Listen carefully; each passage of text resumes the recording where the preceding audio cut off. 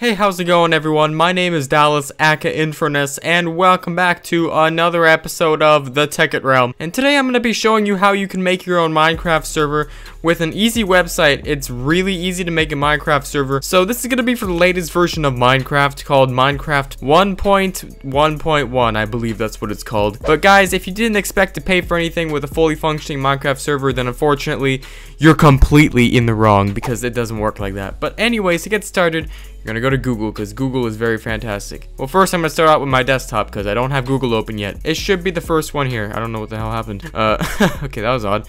And you just click it right here. So this is a very handy website because it's quite easy to uh, to use. Um, and generally making a server is uh, is much easier to do with just this website rather than just doing the whole thing from Minecraft.net. If you know what I'm saying. Anyways, what you have to do is first of all sign up. It's really easy. Just make your email account and whatnot. So uh, and then you just log in with that email. There you go. It says welcome back the Tekkit Realm and get ready to make your own Minecraft server. It's gonna be lit. Let's make a bomb Minecraft server. I'm gonna show you how to do it. The first thing you're gonna need to do, I don't know what these credits are, I just figured that out.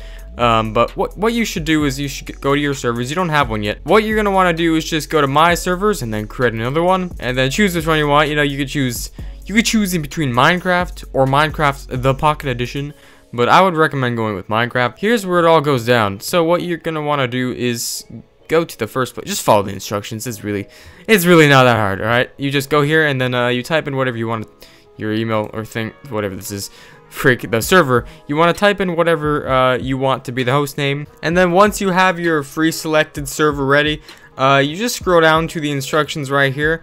Uh, mine are blanked out because I already have a free server running and I can only have one at a time, so um, basically, just click whatever you want. If you want it to be vanilla, then that's basically normal Minecraft version of a server. Then just click that, and then there's a little uh, option right here, V1.11.2.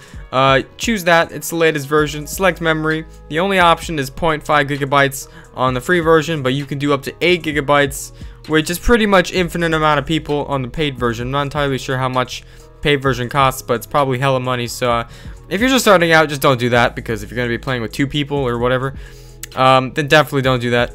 So um, select cycle hourly. Do you want an hourly or monthly server? Monthly means, I'm not entirely sure, but I'm assuming it's better since it's part of the paid version. So um, yeah, I'm definitely good at this. Uh, features, you get to have 12 players on the free version and unlimited there.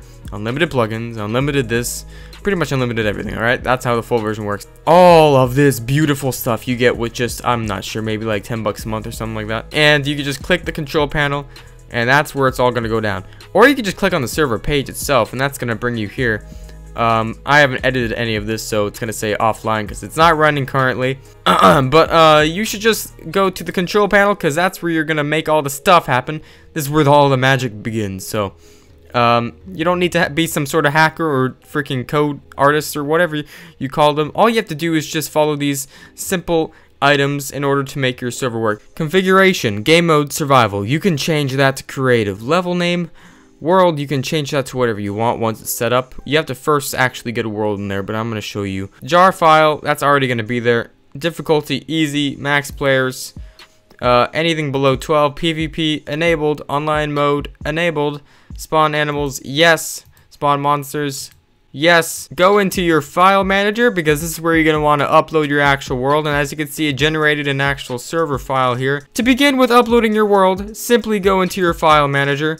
And to start, I would go into percent app data um, and then go into your saves and select whatever the freak world you want to use as your server but I personally would want to use a server world that is specifically set up for a server rather than just some random one. But you could just choose it. We'll just do this one because why not? Add to house2.rar. There you go. And then drag that in there. And uh, once you have the actual zip file ready, you just go back into the Minecraft server.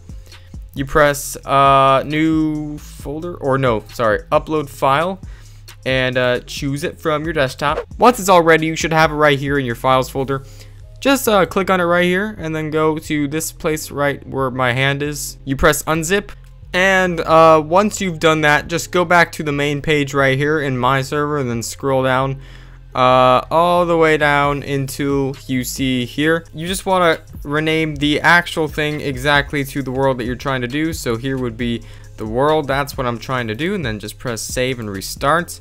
And then once it has successfully restarted, it should refresh the page. Why is it taking 16 minutes to record this?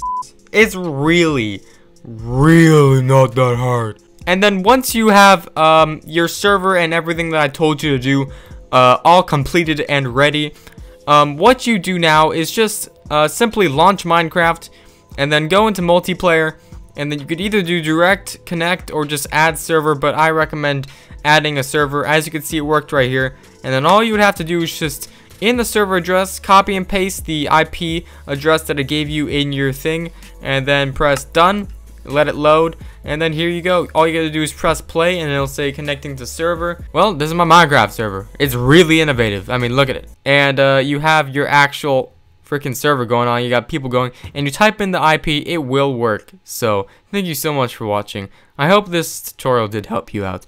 If it did, make sure you go ahead and leave one of those big blue hand things, because that really helps my channel out.